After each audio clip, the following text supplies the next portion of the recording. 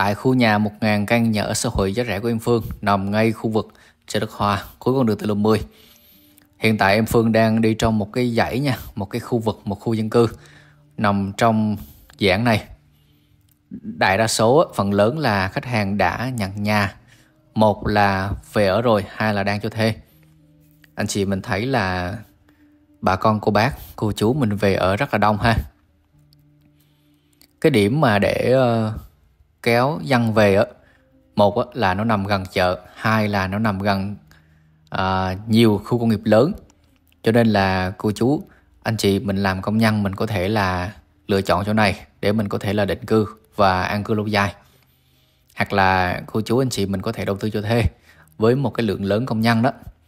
Ở đây thì uh, em đang có nhà rẻ nhất là 280 triệu trong đó nha trong đó ngày hôm nay thì em Phương sẽ quay cho anh chị một, căn nhà à, sẽ rộng hơn so với bình thường rộng hơn so với nhà 280 và 350 luôn.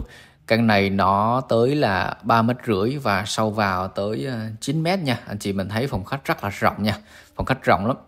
Và cái mức giá căn này nó sẽ đúng bàn đúng bàn so với cái mẫu nhà một trệt một lầu một lửng là 350 triệu mà em Phương đang quay đang uh, giới thiệu cho anh chị mình cái nhà này là một trệt một lầu thôi, không có lửng.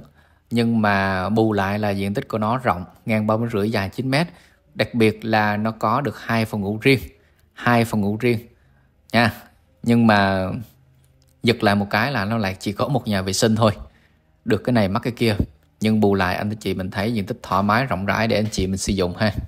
Hai phòng ngủ riêng.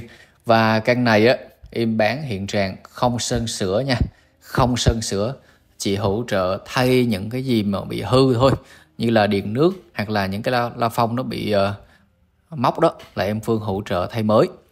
Điện nước là thay mới và hỗ trợ vệ sinh nhà sạch sẽ lại. Thì em sẽ để cho anh chị nào mình cần với cái mức giá là 350 triệu còn thương lượng nha hơn 300 một xíu và còn thương lượng. Một căn nhà ngang 3 mét rưỡi dài 9 mét có đầy đủ hai phòng ngủ riêng. Khá hợp lý nha anh chị rất hợp lý ha cô chú anh chị mình đặc biệt là cần tìm nhà có hai phòng ngủ riêng nha. Tầm tài chính nhỉnh hơn 300 thì uh, có thể tham khảo và lựa chọn nhé nằm ngay trong khu vực uh, khu dự án 1.000 căn nhà ở giá rẻ xã hội của em Phương nằm tại khu vực chợ Đất Hòa và cái căn nhà của mình đó anh chị đối diện là không có nhà nha. Đó đối diện là không có nhà. Ở đây đối diện là em bán đất nền. Đó cho nên là em không có xây nhà lên nữa. Mà anh chị mình thấy những căn bên trong này này là nhà đối nhà, nhưng mà cái nhà của mình là không có nhà đối diện, một cái điểm mạnh, điểm cộng nha. Và xung quanh đây khu vực dân cư rất là đông luôn. Nhưng còn một căn trống giá chỉ chỉ hơn 300 cô chú anh chị mình có thể tham khảo nha.